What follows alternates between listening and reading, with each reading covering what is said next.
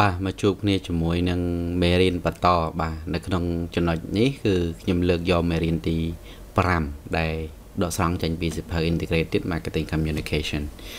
បាទអ្វីដែលខ្ញុំដកស្រង់ចេញមកពីចំណុចនេះគឺផ្ដោតសំខាន់ទៅលើកត្តានៃ course Digital Marketing បាទដើម្បីរៀបចំទៅលើផែនការនៃ Digital Marketing ខ្ញុំរៀបចំមេរៀនចំនួន3ដែលមិន ហើយនឹងបដោតសំខាន់ដកស្រង់ចេញពី integrated ហ្នឹងបាទហើយវីដេអូមុនបាននិយាយជាវីដេអូនៃ chapter 4ពាក់ព័ន្ធគ្នាជាមួយចំណុចនេះប៉ុន្តែមេរៀន chapter 4ហ្នឹងគឺស្មើគ្នាជាមួយនឹង chapter 6របស់យើង chapter 6ហើយមេរៀន chapter 5នេះគឺស្មើជាមួយនឹង chapter 7របស់យើងណាអញ្ចឹងអឺ មេរៀនវីដេអូនៃ chapter 6និយាយពីឬក៏4បាទដែលខ្ញុំបាននិយាយហ្នឹងបាទយើងនិយាយពីព្រោះនេះ5 5ស្មើជាមួយនឹង7 4ស្មើជាមួយនឹង6 chapter 6របស់យើងនៅក្នុង digital marketing អូខេអញ្ចឹងឥឡូវខ្ញុំបដោតនេះវិញបដោតជាមួយលេខនៅចំពោះមុខវិញបាទអញ្ចឹងអាមេរៀនមុនមិញដែលខ្ញុំបានបង្ហាញវីដេអូមុន គឺនិយាយពីអឺការ កាត់ចំណាយទីផ្សារតាមរយៈការធ្វើការសិក្សាស្រាវជ្រាវឬក៏ market research បាទចំណុចទី2ចំណុចទី1និយាយពី market research ចំណុចទី2 market segmentation ការកាត់ចំណាយទីផ្សារបាទជាហើយចំណុចទី3និយាយពី objective market objective ហើយនឹង product positioning ជាមួយនឹងអឺ component របស់អឺ ធាតុសំខាន់សំខាន់នៅក្នុងការរៀបចំផែនការជីវកម្មនៅក្នុងអធិស្ឋានអាធាតុសំខាន់សំខាន់នៅក្នុងការរៀបចំផែនការផ្សព្វផ្សាយពាណិជ្ជកម្មបែប digital អញ្ចឹងនៅក្នុងនោះគឺគឺបានរៀបរាប់ប្រាប់មួយចំនួនហើយនៅក្នុងមេរៀនទី4ហ្នឹងក៏សង្ខេបដែរប៉ុន្តែសម្រាប់ការធ្វើផែនការទីផ្សារយុទ្ធសាស្ត្របែប digital ហ្នឹងគឺខ្ញុំមិន3មេរៀនហ្នឹងចូលគ្នា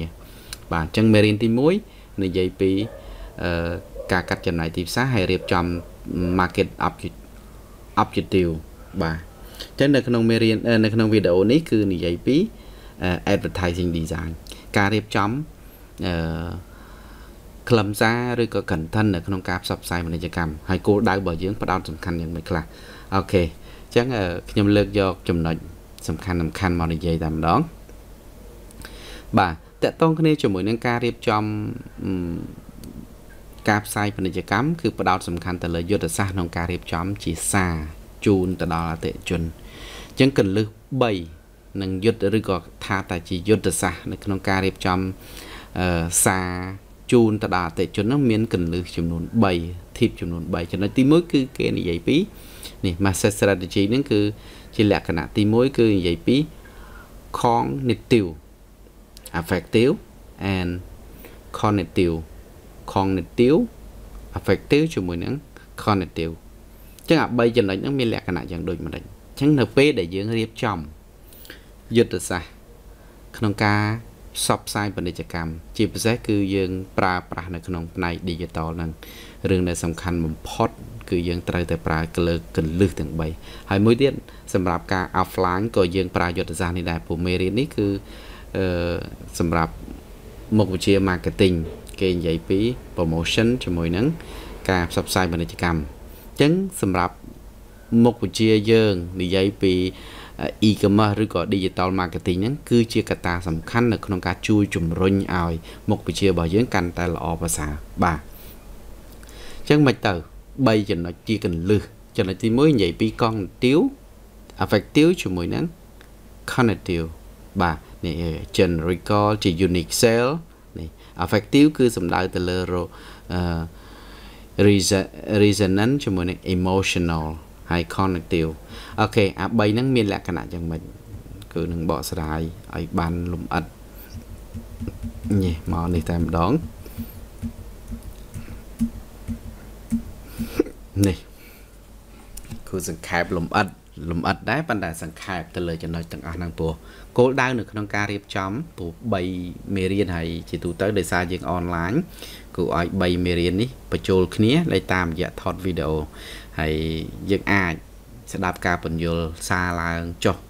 ម្ដងហើយម្ដងទៀតដើម្បីយល់ពីខ្លឹមសារនៅក្នុងមេរៀនហើយ3វីដេអូនេះគឺយើងអាចរៀបចំផែនការក្នុងការរៀបចំយុទ្ធសាស្ត្រ Digital ផ្សព្វផ្សាយពាណិជ្ជកម្មបានអូខេអញ្ចឹងចំណុចទី1ដែលជាយុទ្ធសាស្ត្រនៅក្នុងការផ្ដល់សារជូន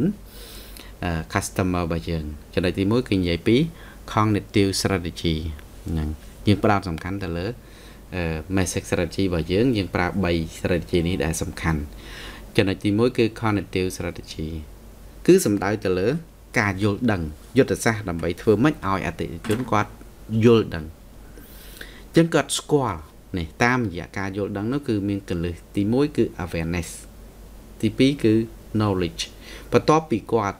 ទទួលគាត់ស្គាល់គាត់ដឹងគាត់ឮគាត់ចាប់ផ្ដើមគាត់ពិចារណា aware គាត់ដឹងហើយគាត់ឮគាត់ស្គាល់ថាយ៉ាងម៉េចខ្លះបាទអញ្ចឹងដំណាក់កាលទី1នេះគឺជាដំណាក់កាលដែលយើងចាប់ផ្ដើមចាប់ផ្ដើមឲ្យគេស្គាល់ឲ្យគេដឹងហ្នឹងតាមរយៈការផ្សព្វផ្សាយពាណិជ្ជកម្មរបស់យើងអញ្ចឹង message យ៉ាងម៉េចដើម្បីធ្វើ ពាក់ព័ន្ធគ្នាជាមួយនឹងអារម្មណ៍ពាក់ព័ន្ធគ្នាជាមួយនឹងការចូលចិត្តហ្នឹងណាអាហ្នឹងដែលជាកលឹះមួយសម្រាប់យើងនៅក្នុងការទទួលស្គាល់នេះគឺកាត់កន្លែងនេះតិចមិញអញ្ចឹងអឺនេះ effective នេះ unique cell ដែលបញ្យលនេះ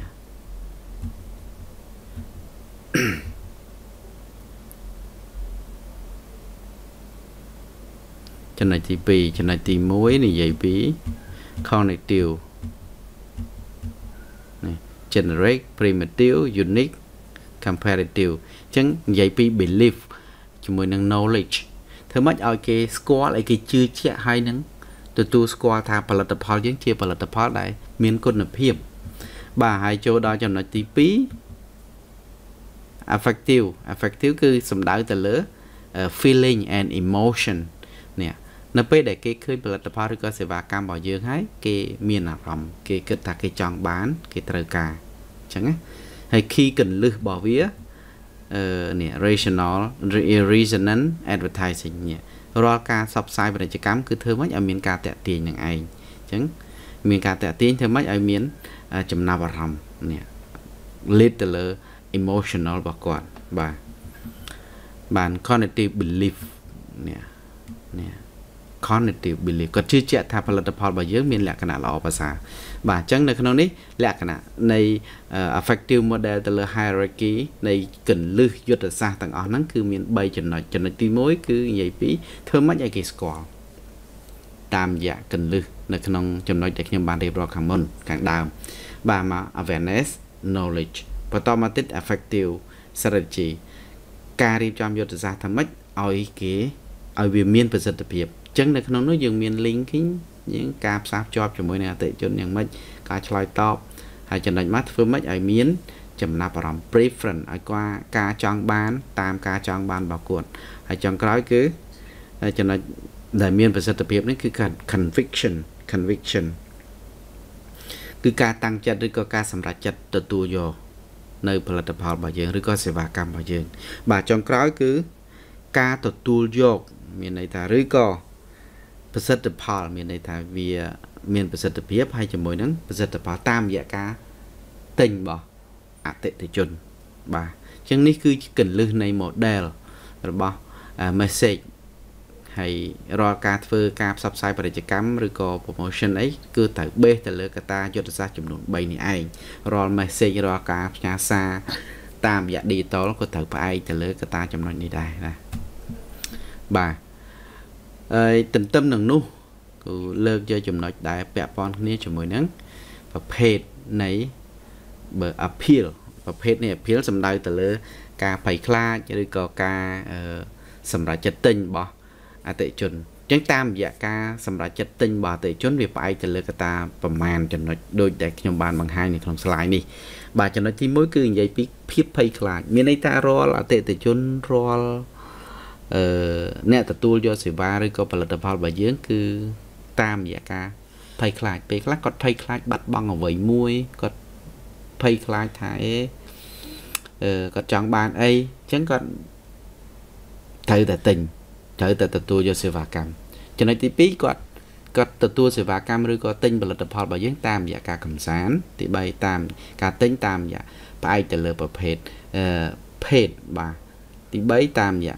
ការកំសាន្តបាទមួយទៀតហេតុផលសំរុំទី2គាត់ទិញតាមរយៈអារម្មណ៍របស់គាត់ចំណុចទីចុងក្រោយគឺគាត់ទិញតាមរយៈអឺផលិតផលឬក៏សេវាកម្មនឹងមានលក្ខណៈកម្រអញ្ចឹងដល់ពេលកម្រគាត់សម្រេចចិត្តទិញបាទអូខេអូខេគឺសង្ខេបអភិលប៉ុណ្ណឹងហើយយើងអាចមើលបន្ថែមបានណាពួកឯកសារគឺបានរៀបចំរួចហើយហើយក៏បានផ្ញើឲ្យដែរបាទ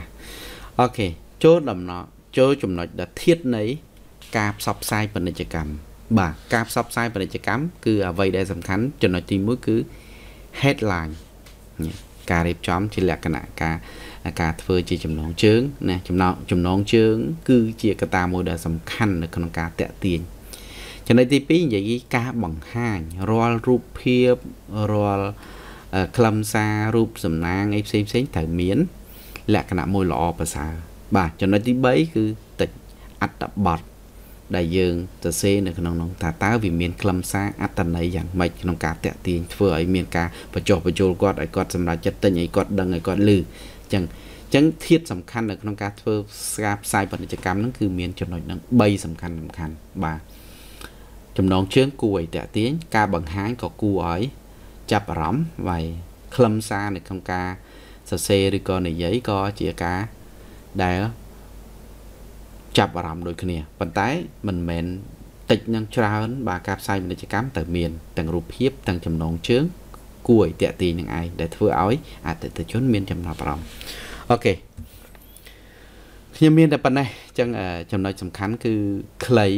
បាទតែខ្លឹម4ចំណុចហើយចំណុចទី4ហ្នឹងគឺសំខាន់មែនតើណាអាហ្នឹងមាន3ចំណុច headline illustration ជាមួយនឹង text បាទហើយប្រភេទនៅក្នុងការសម្រេចចិត្តទិញរបស់គាត់ហើយទន្ទឹមនឹងនោះគឺប្រើយុទ្ធសាស្ត្រ message អញ្ចឹងសង្ខេបមកវិញបាទអូខេអញ្ចឹងសម្រាប់មេរៀនទី7ហ្នឹងមានតែប៉ុណ្ណេះឯងហើយរងចាំវីដេអូទី3ដែលនិយាយពីការរៀបចំផែនការទៅលើ digital តើតើយើងគូប្រើយុទ្ធសាស្ត្រអ្វីនៅក្នុងសម័យ digital នេះបាទអូខេអញ្ចឹងរងចាំវីដេអូ ទី3ទាំងអស់គ្នាបាទ